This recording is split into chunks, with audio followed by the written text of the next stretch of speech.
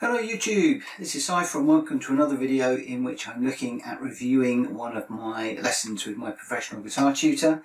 This is going to be lesson 30 which was undertaken on the 15th of October, day 457 and I'm stopping with the number of hours because I'm finding now that I'm picking up the guitar more often and not always logging the hours I'm doing. So I'm logging in my application some of the structured hours, but when I've got 10 or 15 minutes and I am picking up a guitar and just running through some scales or whatever, so the hours are getting misled, so I'm starting to drop those at the moment. So this lesson was a face-to-face -face lesson, which was good. And we started off by talking about where I am at with REM. And we've actually parked that now. Um, it, the last time I played it was reasonably good. I usually play it on the Ibanez, not on this guitar. But I'll just run through it very, very quickly and just see how it goes.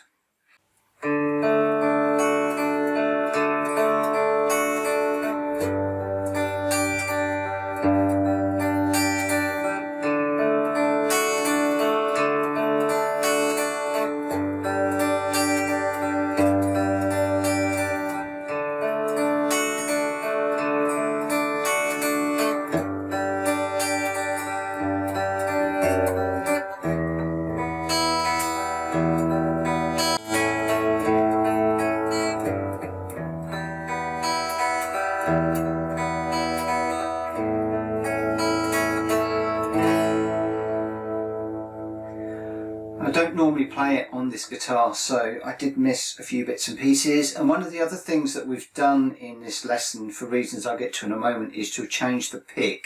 Um, I've come up to a much thicker pick. So yeah that was the first time I've actually played that in probably about four or five days. So we have parked REM now something I'm quite pleased with because it was getting a bit boring it was getting a bit mundane and that will be the last time that you hear that uh, now until such time as I pick it up again. I will pick up REM, Everybody Hurts from time to time. I'd like to finish the song at some point, um, but for now it's it's been basically put to one side. So we're continuing on a daily basis with the uh, Mose font finger exercise and also the pentatonic scales. I won't go through those now. Um, but we've got shape one in the first position and shape one in the second position, so the higher and lower register. Um, that's going reasonably well, and we've just moved on to shape two as well. Um, I will probably cover the pentatonic scales in a future video when I've got them under my fingers a little bit better. Um, but for those of you that do want to follow me along, then you can download the shapes which I've made available from the Patreon page. If you can't find it, let me know and I'll, um, I'll point you towards that. So that's going okay, working on that quite well. The other thing that we have been working on is the 12 bar blues. Now one of the reasons why we've stepped up from a um, it was a 0.5 mil pick up to a full 1 mil pick is I was a bit concerned that I wasn't really managing to get the 12 bar blues sounding the way that I wanted it to. When I was playing the second string it wasn't really coming through and I've just moved to the one mil pick and finding that to be much much easier actually. Whether it be just as easy when I am strumming, I don't know, but for the moment it's it's not too bad. So still got quite a bit of work to do on this, but this is where we are at at the moment.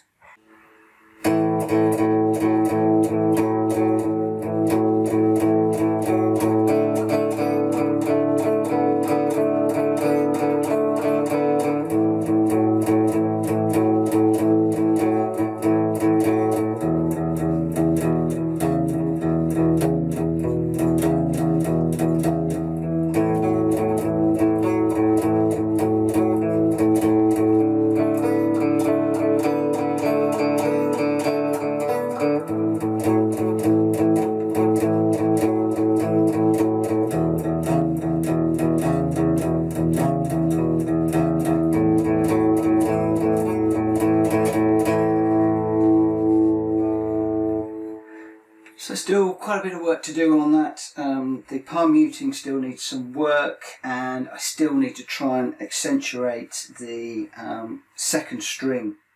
So when I'm on the A power chord, slightly softer on the first string and then accentuate the second one and then again when I'm at the fourth fret. So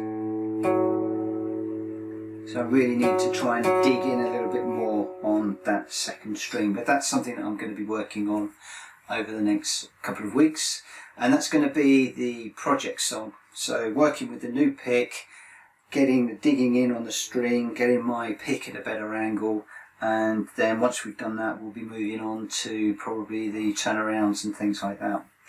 Now the last time um, in one of the last videos I talked about ego songs and the fact I wanted to be doing an ego song and the ego song that I've chosen to do is Stand By Me and the reason for that is A, it's a relatively straightforward song, B, it uses power chords instead of full chords, C, there's a little bit of palm muting involved as well, so quite a lot technically. And also, Matthew, who I'm hoping to be jamming along with at some point, this is one of the songs that he knows. He knows the chords. So what I've decided to do is to start with the exercise where I'm playing the bass notes. So basically what we are doing is, I'll go through the strings first of all. So we play an open six string, so this is a low E. We then play the four frets on that same string, and then we need to play the A power chord, which is putting your finger on the fourth string, laying it down onto the second string, uh, so onto the third string, and then we are actually playing um, strings 5, 4 and 3. And what we try to do is to palm mute just after you've played that chord. So if I just go through that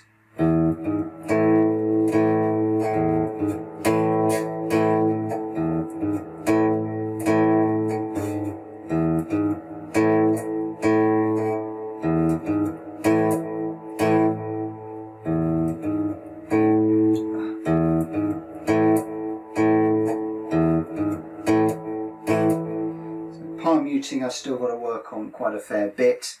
Um, but that's quite a nice little um, exercise there.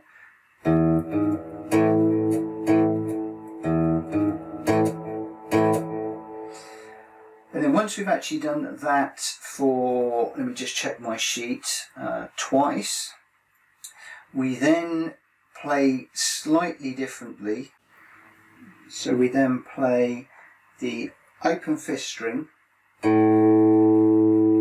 fourth on the sixth string, two on the sixth string, and then we keep our finger on the second fret of the sixth string. And we put our ring finger down on the fifth and the fourth string to play that chord. And playing the top three strings. So that is and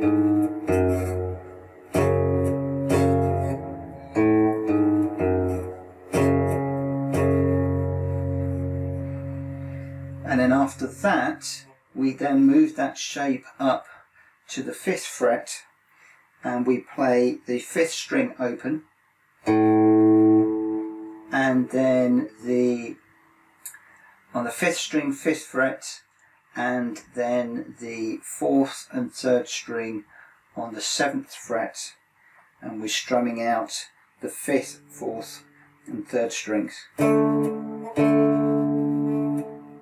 then we move all of that up to the seventh fret with the same fingering and we're playing the open fifth and then the chord. Not quite sure which chord that is, I'll need to look that up um, but on the music sheet those two chords are if I can find them uh, 775 and then 997 and again that's on the fifth fourth and third strings so if I just try and play that through and again I've only just started this haven't got it in my head and it's quite slow but um, this is how it should sound.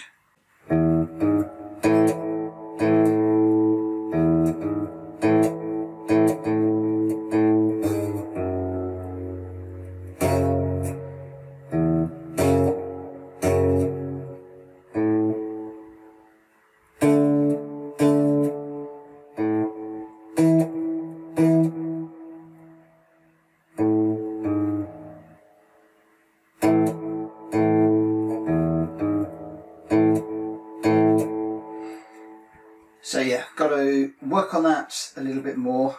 Um, um, but I will put this Stand By Me exercise in the description below. So if you want to follow through slowly, then you can do so.